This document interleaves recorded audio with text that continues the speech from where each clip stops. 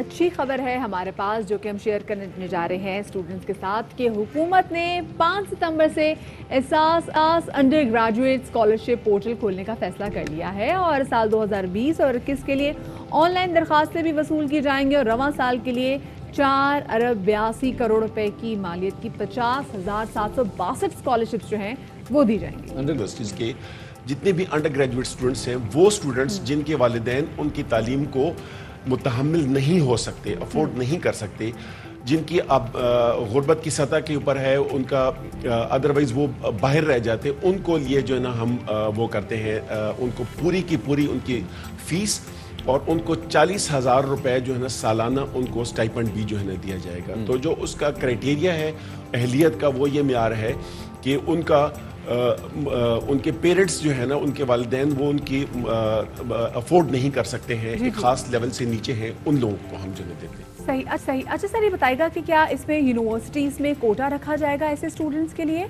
और साथ में ये जो वजीफ़ा है ये जो चालीस हज़ार है ये सालाना तौर पर दिया जाएगा? कोटा इस तरह है कि यूनिवर्सिटीज़ में सच कोटा नहीं है लेकिन हमारा यह है कि खातन के लिए 50 फ़ीसद हमारा कोटा बच्चियों के लिए रखा गया है और दो फ़ीसद उन बच्चों के लिए रखा गया है जो कि खसूसी सलाहियत के जो बच्चे होते हैं दो फ़ीसद उनके लिए जो है नाम दिए जाएँगे।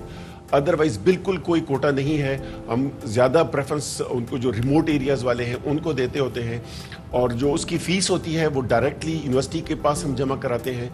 और जो ये स्टाइपेंड है, वो डायरेक्टली हम स्टूडेंट को जो है देते हैं, ताकि वो अपने वालदेन के ऊपर बोझ ना बने और वो अपनी तालीम को वो जारी रख सकें। बहुत बेहतर इकदाम है। अब सर, ये भी बताइएगा कि क्वालिफ़िकेशन का क्राइटेरिया क्या है? कैसे लोग इसमें क्वालिफाई कर सकते हैं?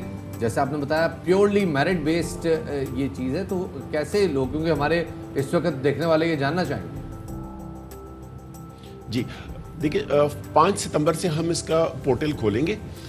उसमें स्टूडेंट अपनी एंट्री करेगा और उसमें ये प्रूव करेगा कि उसके जो इनकम लेवल है वो इस नहीं है कि जिसमें कि वो इंडिपेंडेंटली उसके वालदेन जो है ना वो उसको आ, मतलब ये कि आप अंदाज़ा ये कर सकते हैं कि जिनकी आमदनी पैंतालीस हज़ार से कम हो जिनके हम्म। वालदेन की आमदनी पैंतालीस हज़ार से कम हो तो वो लोग जो है ना उसके लिए एलिजिबल हो